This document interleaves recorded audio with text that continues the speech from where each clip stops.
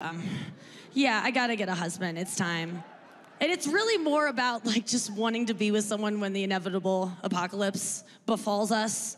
I just want one guy to fucking care about me. I want to be number one on a guy's list for him to be like, I gotta get to Nikki. You know, like I want that.